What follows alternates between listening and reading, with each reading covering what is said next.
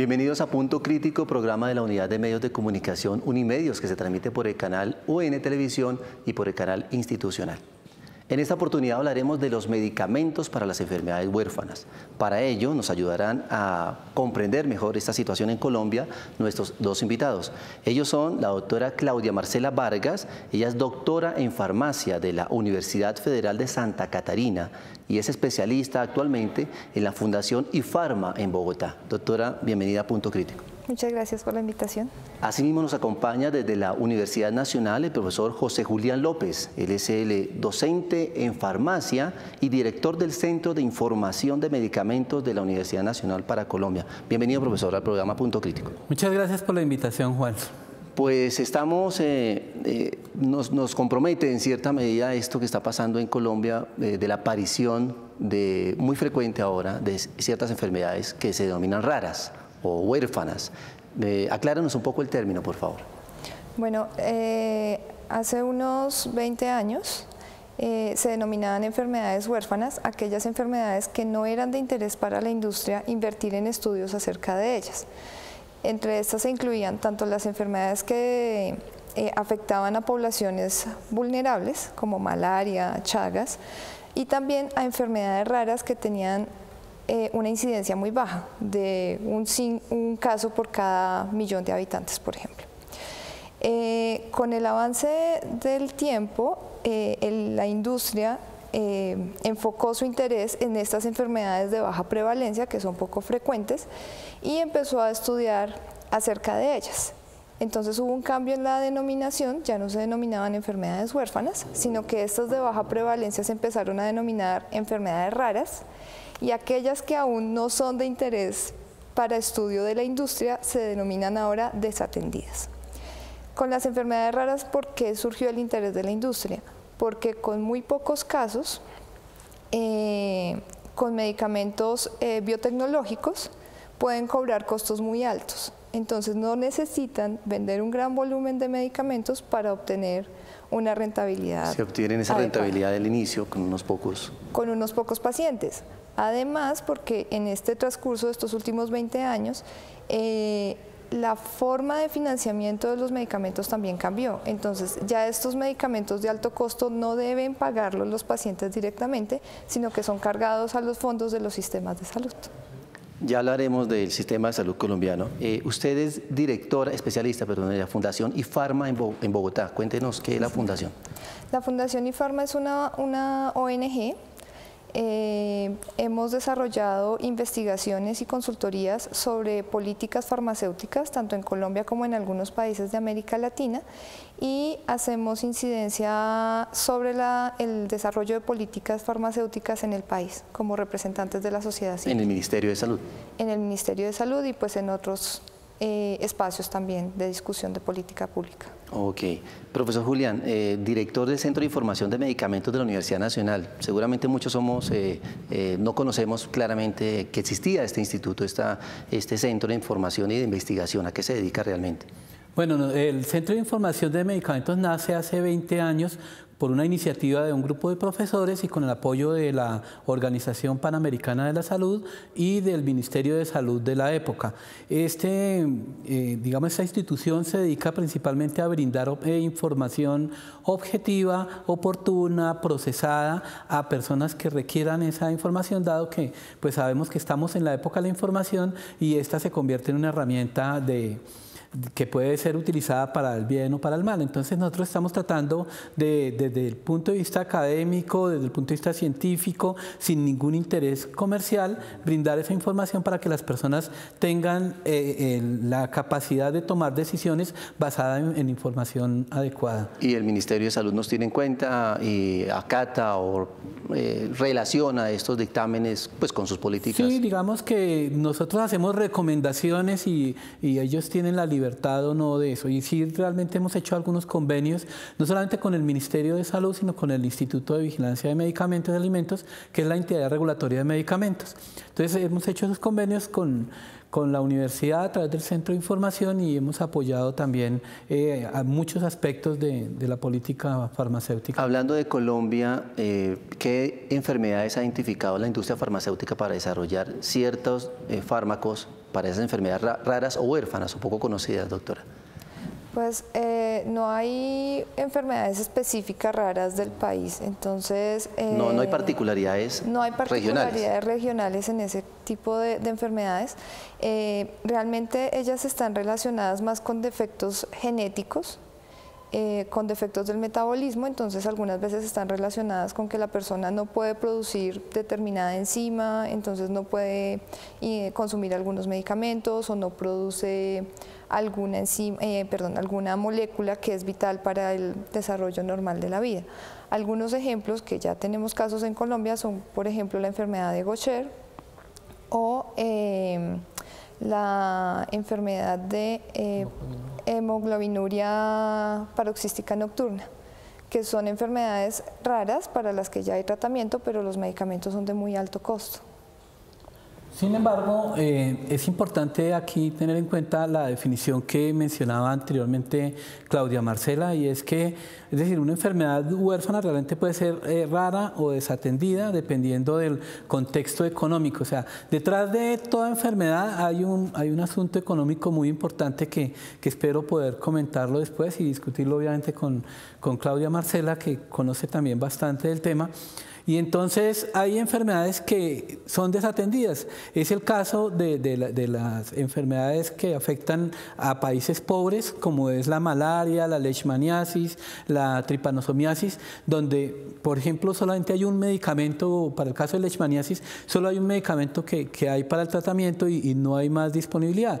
Y el interés, o sea, hay muchas personas que lo necesitan, pero como es para países pobres, pues entonces yo no desarrollo medicamentos porque ellos no me van a pagar esos altos costos, entre comillas, que requieren para, el desarrollo de esos medicamentos. Entonces, como dice Claudia Marcela, el, concepto de, enfermedad huérfana cambió a enfermedad rara o desatendida. De igual manera, cuando se hablaba de medicamentos huérfanos, también tenía ese contexto en negativo desde el punto de vista económico. O sea, son medicamentos que la industria farmacéutica no desarrolla porque no son rentables para ellos. Pero resulta que se han dado cuenta que sí son rentables y, así lo vendan a pocas personas, eh, van a sacar eh, un, buen, provecho. un buen provecho económico. Mientras que hay otras que afectan a muchas personas, pero como son para países pobres que no tienen cómo pagar, entonces no lo desarrollamos. Entonces ha cambiado mucho ese enfoque y yo creo que Colombia ha avanzado mucho, al menos desde el punto de vista conceptual, de, de utilizar nombres diferentes, entonces en nuestro caso ya no hay medicamentos huérfanos, sino se llaman medicamentos vitales no disponibles para, digamos, enmascarar un poco el tinte económico que hay detrás de todo eso, porque finalmente el problema va a ser económico. Y otra situación que se presenta es que las EPS no reconocen esa sintomatología, ese diagnóstico como tal, y por lo tanto pues no autorizan ante un consejo de, salud interno la, eh, la provisión de esos medicamentos, doctora. Claro, o sea, igual digamos que se han desarrollado guías para el diagnóstico y pues como son enfermedades con tan poca frecuencia, pues no es fácil que un profesional que no ha tenido contacto previo con este tipo de pacientes lo identifique fácilmente. Entonces, em, digamos que ha habido también una estrategia también de la industria porque finalmente eh, necesita identificar los pacientes para que su producto sea consumido. Entonces lo que se ha hecho es eh, que la industria ha apoyado el desarrollo de estas guías y de hecho algunas veces desarrolla campañas en los que ofrecen la posibilidad de acceder al diagnóstico de si la persona tiene o no esta enfermedad para de una vez ya garantizar el caso y eh, crear la necesidad del medicamento en este sentido. En el caso de la, en la relación con las EPS, el problema es que estos medicamentos generan una carga económica muy grande. O sea, estamos hablando de tratamientos que pueden costar 100 millones de pesos al año por un solo paciente o muchísimo más. Entonces, esto también genera un desequilibrio económico en el asegurador en el momento en el que él, por ejemplo, por una acción de tutela se ve obligado a pagar este medicamento, él inmediatamente está teniendo que sacrificar la atención de otros usuarios. Entonces, esto es un conflicto bioético que tenemos dentro del sistema, porque ¿a quién atiendo? A los usuarios que puedo atender con alternativas de más bajo costo, efectivas y que tienen posibilidad de resolución de su problema de salud, o a este usuario que va a necesitar el medicamento de por vida. Y se, va a llevar todos los recursos. Y se va a llevar los recursos. Ahora, en ese caso yo creo que la pregunta no es a quién financio, sino creo que la pregunta clave es ¿por qué eso es tan caro? ¿Por qué es tan caro? ¿Por qué ese medicamento cuesta tanto? ¿Hay justificación en esos costos, profesor? Obviamente que la industria siempre va a tener la justificación y generalmente está soportada sobre el, asunto de la investigación, los altos costos que requiere investigar medicamentos nuevos, ¿no? Eh, lo cual no es exactamente cierto. O sea, una empresa que invierte 800 mil millones de dólares en, sacar un medicamento nuevo es una empresa ineficiente. O sea, cualquier empresa que va a sacar un producto nuevo seguramente que no va a, necesitar tanta plata porque... Y, eh, porque eso pues, no es así, o sea, no sería rentable uno invertir tanta plata para sacar solo un producto. Eh, y además de eso, la mayoría de investigación en medicamentos está soportada por los gobiernos, por los estados. De hecho, muchos de, de los productos nuevos que hay actualmente han sido desarrollados por universidades con patrocinio estatal. Y luego esas universidades venden la patente a la industria y ahí es donde empieza el problema. O sea, realmente no son los altos costos. Cuando uno compara los costos de, de desarrollo, de investigación y desarrollo de medicamentos contra los costos de marketing y publicidad, eh, realmente los de marketing y publicidad superan con creces lo que, se, lo que se gasta en, investigación. Entonces realmente eh, lo que dice Claudia Marcela es muy cierto, es la pregunta que siempre se hacen es, porque hemos desarrollado estrategias para controlar el alto costo, tal, pero, pero nunca nos hemos preguntado por qué los medicamentos son de alto costo. ¿no? Y ahí viene pues lo que hay detrás de todo eso. O sea, para mí eh, siempre hemos visto detrás de eso eh, unas consecuencias de una política económica neoliberal, donde está primero el consumismo, segundo la competencia y tercero la medicalización de la vida. ¿no? Son, son varias cosas que han llegado, o sea, desde el punto de vista sanitario estoy hablando, desde el punto de vista laboral ha habido también desastres con esta política neoliberal, pero eh, desde el punto de vista sanitario ha sido eso, es convertir sus eh, situaciones de la vida diaria en enfermedad para que puedan consumirse más medicamentos, ¿no?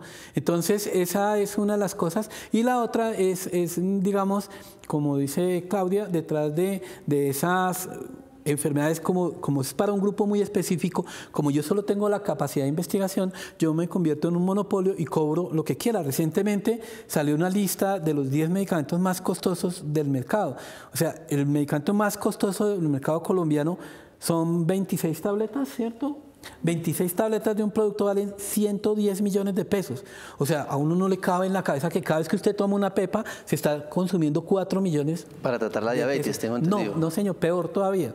Es para tratar una dislipidemia, una alteración en los lípidos que bien se puede controlar con dieta, que bien se puede controlar con las estatinas que son muy económicas y esto, pero, pero pues ya está desarrollado. O sea, pero más allá de, a qué vaya dedicado uno. Pareciera que están cambiando la configuración de algunos medicamentos para hacerlos más costosos y tratar eh, enfermedades que con otros se podía tratar. Sí es. Eh, ya viene ligado a otro tema que es el tema de patentes, ¿no? O sea, que eso fue otra cosa que trajo la política neoliberal, trajo los tratados de libre comercio y los tratados de libre comercio traen consigo unas ciertas, eh, digamos, condiciones para que yo le compre a usted, usted me compra a mí, pero yo pongo las condiciones. Una de esas fue la patente, las patentes, ¿sí? Entonces las patentes producen protegen mi producto y eso hace que no haya competencia. Al no haber competencia, entonces yo coloco los precios que, eso es otro, la liberalización de... En el caso particular colombiano estamos totalmente desprotegidos. Absolutamente, y la muestra más fehaciente ha sido lo que pasó con el IMATINIB. O sea, el IMATINIB logramos la declaratoria de interés público.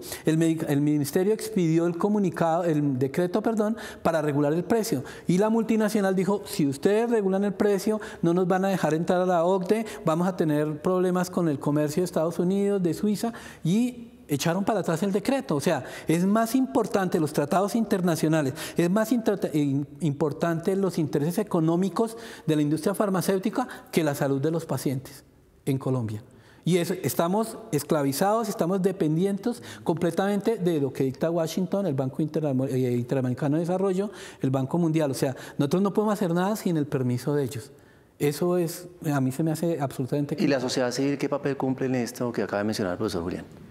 Eh, pues desde la sociedad civil, con el caso del imatinib, nosotros lideramos junto con el Centro de Información de Medicamentos y otras organizaciones como Misión Salud eh, la solicitud de declaratoria de interés público y hemos estado haciéndole seguimiento a este, al proceso. Realmente después de la declaratoria de interés público y la regulación del precio del, medicamento, eh, lo que ocurrió fue que el Ministerio de Comercio sacó un nuevo decreto en el que mm, pone como condición que para definir qué es si algo es de interés público o no, eh, tiene que mm, hacerse un comité que incluya al Ministerio de Comercio y al, al Departamento de Planación Nacional junto con el Ministerio de Salud.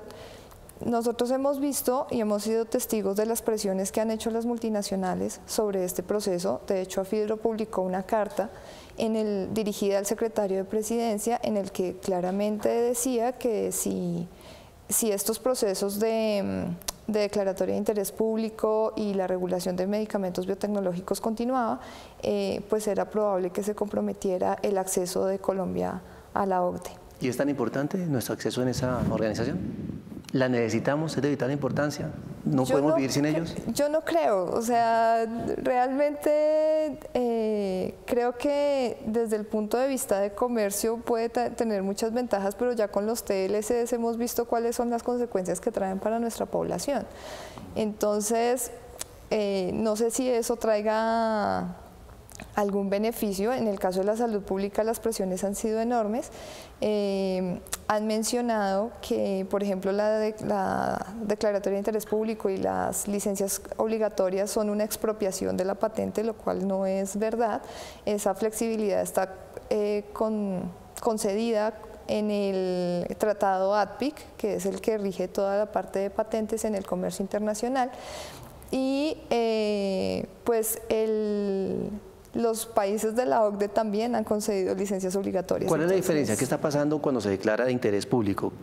¿Qué pasa si se declara de interés público? O sea, es decir, el Estado empieza a comprar a bajo costo, ellos tienen que vender a bajo costo. ¿Qué es lo que pasa realmente? Eso es el primer paso. O sea, se supone que un país es autónomo en declarar una licencia obligatoria eh, si tiene una situación de salud eh, que necesita resolver. Y que ¿La tenemos en Colombia? Se llama leucemia mieloide crónica. Okay. El imatinib es un medicamento para el tratamiento En ese caso de este puntual tenemos ya una necesidad. Tenemos una necesidad. Se ha pronunciado el gobierno, pero echaron para atrás la resolución. Sí, entonces, no, la resolución está en pie, pero entonces la respuesta de comercio fue modificar la reglamentación para hacer la declaratoria de interés público en el que ya no tiene el mismo peso el Ministerio de Salud, sino que lo pone en un comité tripartita con planeación nacional y con el Ministerio de Comercio. Entonces, obviamente, el ministerio interesado, si él es el único que está interesado en que la declaratoria de interés público se dé, en el comité tripartita pues va a perder porque tiene dos entes de la parte de comercio que pues van a tener más peso en la decisión. Lo van a echar abajo, pues sí, profesor. En Colombia existe, eh, vuelvo y repito, la clasificación, no se denominan medicamentos huérfanos, sino medicamentos vitales no disponibles, y existe una resolución que es la 481, la que establece cuáles son los medicamentos huérfanos que, que están vigentes en Colombia. Actualmente, a 2017, marzo de 2017, tenemos un listado de 99 productos que se consideran medicamentos huérfanos. Se han excluido de esa lista 22 por razones que eh, eso es decisión del INVIMA quien declara si es o no un medicamento vital no disponible.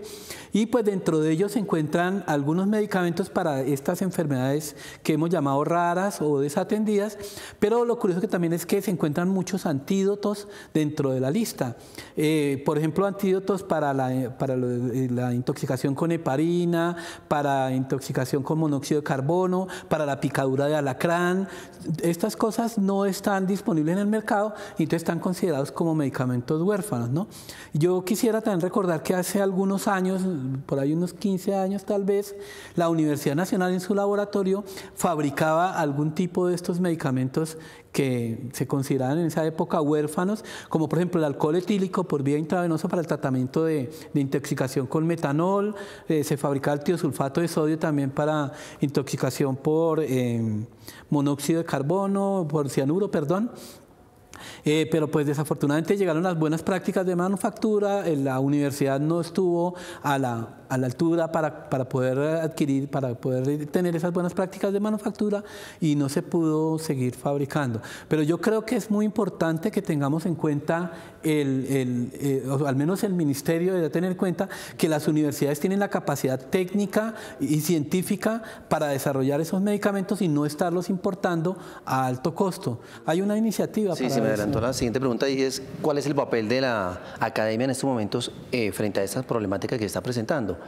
Está, por ejemplo, particularmente la Universidad Nacional, ¿qué está haciendo al respecto, además del centro que usted dirige? Sí, no, como le comenté, desafortunadamente en este momento no podemos producir, eh, se tiene el conocimiento, se tiene absolutamente todo, pero la planta física para la producción no contamos con esos requisitos que exige el INVIMA para fabricar medicamentos. Entonces, por eso, pues digamos que, no hay y, pues debería haber una iniciativa del gobierno para poder que esto se reactive, de, de prestar recursos, fondos para que la universidad universidad tenga eh, esa capacidad de producción y supla las necesidades del mercado. Con las particularidades colombianas tenemos la posibilidad de atacar, de enfrentar esas eh, enfermedades poco atendidas, huérfanas, raras, eh, si nos dedicáramos a lo que acaba de decir el profesor Julián y si tuviéramos el apoyo económico, ese músculo económico para desarrollar esos medicamentos, doctora. Sí, sí, claro, esa puede ser una alternativa, entre otras tendría la ventaja de que serían terapias personalizadas, o sea, totalmente ajustadas a, la, a, las características del paciente, porque lo que ocurre con el medicamento industrializado es que nosotros tenemos una dosis estándar y nos toca tratar a todos los pacientes como si fueran iguales. Entonces, esta, esta alternativa tendría, tendría esa ventaja de, pues, de llegar a la medicina personalizada. Con relación a las dificultades técnicas que se mencionan en algunos casos, porque los medicamentos para enfermedades raras normalmente son de origen biotecnológico, normalmente tienen eso, ya existe la capacidad técnica en el país para producir este tipo de principios activos y pues acá en el Instituto de Biotecnología ya ha habido algunos avances, entonces eh, digamos que es una, una buena salida al problema que tenemos con, los, con el tratamiento de las enfermedades. Hay varias herramientas que nos permiten decir que la Universidad Nacional y en otras universidades e instituciones educativas eh, se pueden solucionar estos problemas. Eh, para finalizar, en unos pocos minutos que nos quedan, eh, ¿estamos atendiendo suficientemente a esta población que sufre estas enfermedades? A partir del sistema de salud, de la CPS, de, desde el Ministerio de Salud? Yo creo que existe... O, como que se trata con los diagnósticos de ocultar y decirle, no, vaya, tómese este acetaminofén, esta naproxeno y tranquilo que no pasa nada.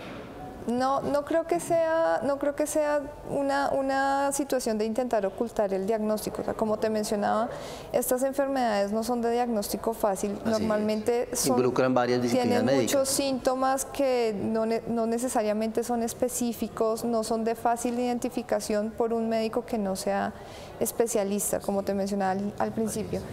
Y el otro problema se refiere al suministro. Entonces, a veces el medicamento no está disponible en el país mediante la resolución de medicamento vital no disponible. El asegurador tiene que hacer la importación del producto porque no es un producto que esté aquí registrado y esto pues eh, obviamente genera alguna demora en la atención oportuna del paciente. Sí. Entonces... Eh, no, es que quería complementar con que precisamente como son tan buen negocio estos medicamentos para enfermedades huérfanas, o para enfermedades raras, también hay el riesgo del otro lado, de que se haya un sobrediagnóstico, como pasó con el cartel de la hemofilia en la costa atlántica y como ha pasado con otras enfermedades, el uso de somatotropina, etcétera. Los medicamentos son muy costosos y yo necesito vender. Entonces, me invento pacientes. eso hay que tenerlo también en cuenta. Entonces, si es demasiado fácil el acceso, corremos el riesgo, al menos en Colombia, de que se convierta en un problema de, corrupción, como está visto, ya demostrado con algunos casos donde, donde puede suceder eso. Profesor José Julián, muchas gracias por atender esta solicitud de punto crítico. Esperamos pues, eh, que sus gestiones tengan eh, el mayor impacto positivo en la sociedad colombiana y sean atendidos por el sistema de salud. Doctora Claudia Marcela Vargas, muchas gracias por atender esta eh, invitación de punto crítico. Muchas gracias. En una próxima oportunidad estaremos avanzando en esos temas de salud y también abordando otras temáticas de interés público para Colombia. Hasta una próxima oportunidad.